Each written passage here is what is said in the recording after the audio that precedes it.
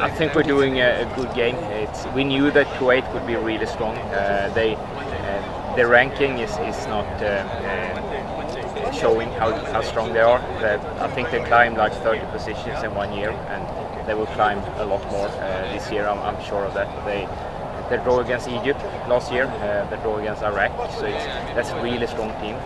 So we knew that we were going to fight um, today, and it would be hard to, to attack and and we weren't able to attack so much today, but we said before we wanted to see uh, some things that we've been training on. We haven't trained very much, but uh, mainly focus on the organization, uh, mainly focus on the attitude, and I think the boys are showing fantastic attitude on the pitch. It's you, you can see that we're playing a strong team, uh, so it's it's hard to attack. Uh, we're gonna try next game to, to get a little bit higher positions, but uh, I think as the game played out today, it, we did a, a, very good job. Uh, Kuwait, they show that they have a lot of qualities. They, they have good passing players. They, they, find good spaces to attack on. Uh, they try to attack behind our wingback uh, uh, pretty hard. They try to find a space between our uh, parts of the team, and sometimes they do it very well. Um, maybe they could have more, like to say in English, tempo to, to make it even harder for us. But I think they were expecting uh, maybe a little bit easier game today. Uh, I think they were pretty confident. Uh, but it is never easy to play in a Nepal players because it's they will never never uh, lay down uh, without fight. So I think you can see that they have a lot of quality in the team. Uh, I guess next game will be even tougher because then they want some kind of revenge. We're, we're happy with the draw today.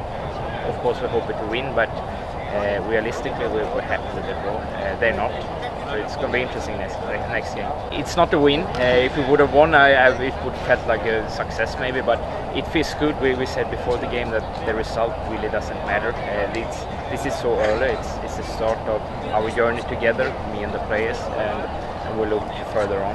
But of course, it's, it's still really nice to, to be able to hold a good team to the draw, and especially to to be able to to do the same things we've been talking about. That for me, it's a receipt that the players uh, understand what we're talking about, then hopefully believe in in our plans.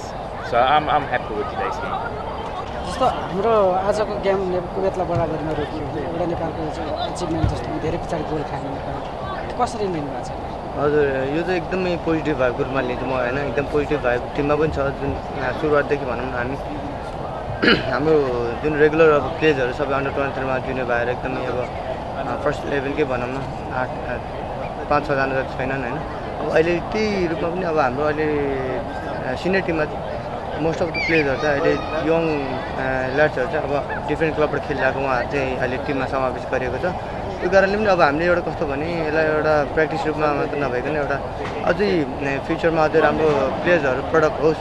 एउटा national टिमलाई पनि एउटा support होस् senior टिममा support होस् भन्ने हिसाबले पनि यो टिममा समावेश गरिएको थियो। जुन कुरा आज कति भाइहरूले डेब्यु गर्ने चान्स पायो एकदम पोजिटिभ एकदम राम्रो रूपमा लिएको छु र अझै यसले यसले चाहिँ के देखाउँछ भने अझै फ्युचरमा त्यो जति पनि जुनियर भाइ न्यू प्लेयर्सहरू छ उहाँहरूको लागि चाहिँ एकदम पोइ एकदम मोटिभेटको रूपमा अगाडि बढ्छ होइन?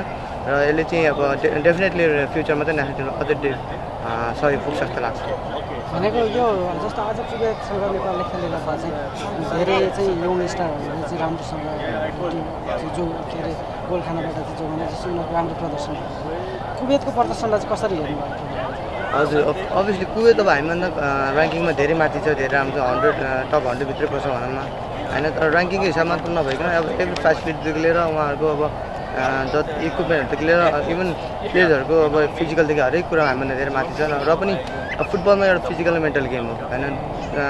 जसको दुइटै पक्ष राम्रो हुन्छ त्यसले अलिक अगाडि राम्रो खेल्ने सक्छ जस्तो मलाई लाग्छ। त्यो कारणले गर्दा पनि कुवेत अभियसली राम्रो टिम हुँदा पनि तर हामीले चाहिँ मैले अगाडि पनि भने टफ फाइट दिन सक्छौँ। हामीले अझ पोजिटिभ रिजल्ट ल्याउन सक्छौँ भन्नेमा पूर्ण विश्वास थियो।